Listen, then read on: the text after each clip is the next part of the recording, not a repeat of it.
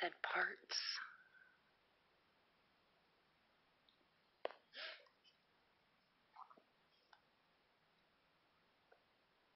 Is there anything you would like to say?